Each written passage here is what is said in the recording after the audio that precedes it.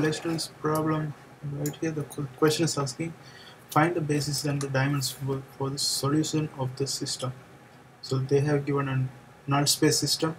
So we have to find the find the solution. Let's see how we can do this. So first of all we have to arrange this in a matrix form. So matrix form is going to be 1 3 4 2 1 3 and minus 1 2 1 and the other side is going to be 0 0 0 now I have to make all the values below and above the pivot to 0 so let's see how we can do this. 1 3 4 0 I can eliminate this one by multiplying the first equation by negative 2 and adding to the second equation.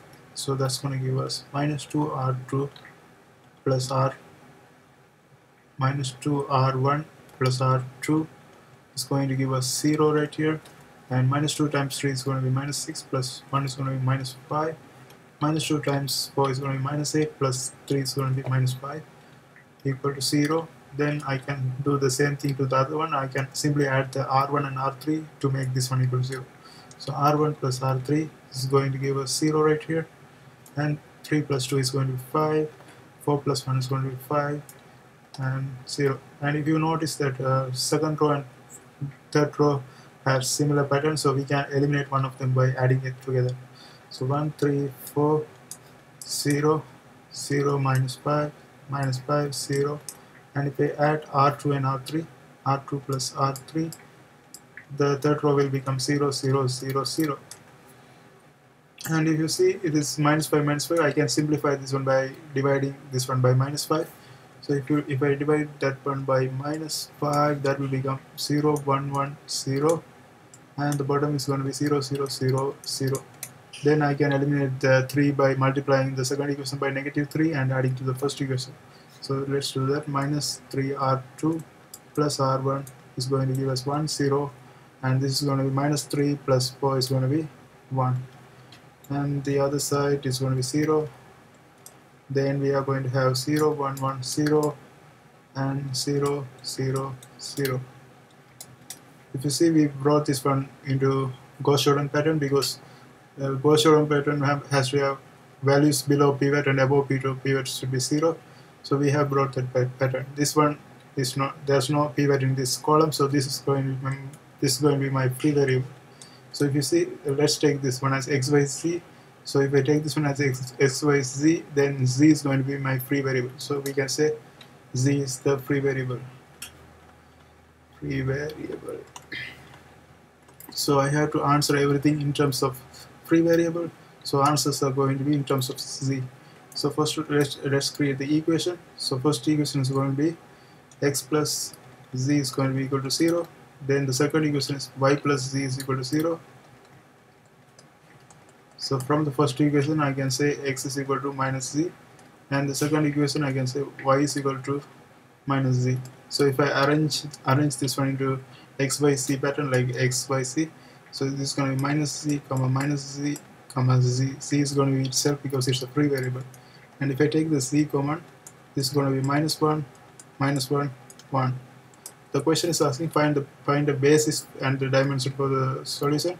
So whenever they ask basis we, we have to bring this one into the uh, basic pattern. So it's going to be b is equal to I had eliminated this c because c mean it can be any real number.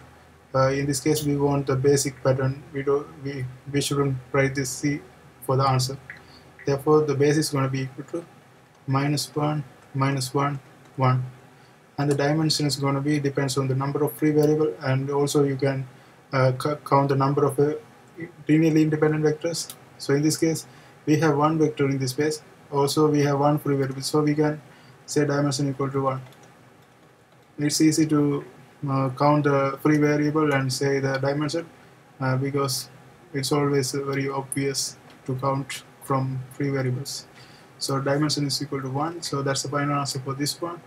And the next question is asking find the basis and the dimension for span 112 3 minus 1 0 4 0 2 so we have to do the same thing right there. But in this case uh, this is not a null space right this one they have given 0 here. That's why we, we do the null space. In this one there's no 0 uh, they, they are not even mentioning this null space so we have to just arrange in a rows like 1 1 2 3 minus 1 0 4 0 2 and now I have to do the Gauss-Jordan. So if I do the Gauss-Jordan for this one let's see what happens. 1 1 2 and to eliminate the value below uh, pivot I have to make this one into 0 first of all I for the first row, second row I can multiply the first row by negative 3 and add it to the second row. So it's going to be minus 3 r1 plus r2 which will give us 0 right here. And this is going to be minus 3 plus minus 1 is going to be minus 4 and then the other one is going to be minus 3 times 2 is going to be minus 6 plus 0 is going to be minus 6 and then I can eliminate the third row by multiplying first row by negative 4 and adding to the third row. So minus 4 r1 plus r3 is going to give, give us 0 right here. Minus 4 plus 0 is going to be minus 4 minus 4 times 2 is going to be minus 8 plus 2 is going to be minus 6 and if you notice that we have second row and third row with the same number so we can eliminate one of them by multiplying one of them by negative 1 and adding to the other. So let's do that.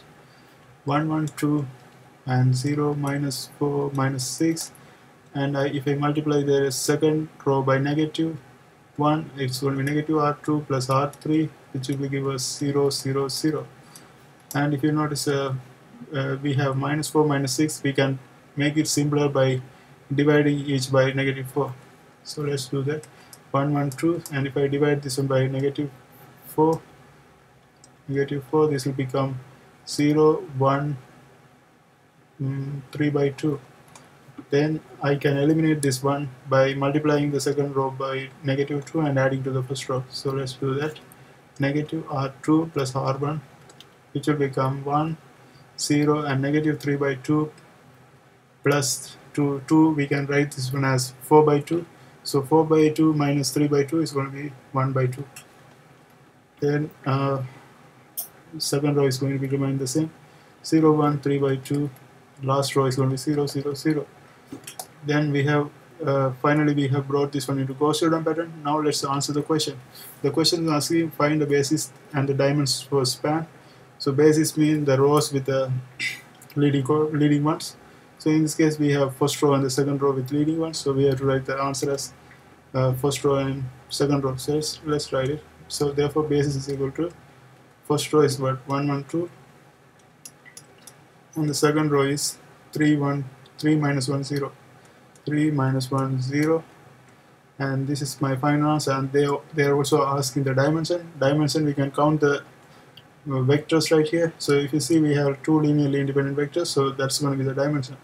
So dimension is equal to 2 and this is my final answer. I hope you guys like this video. See you next time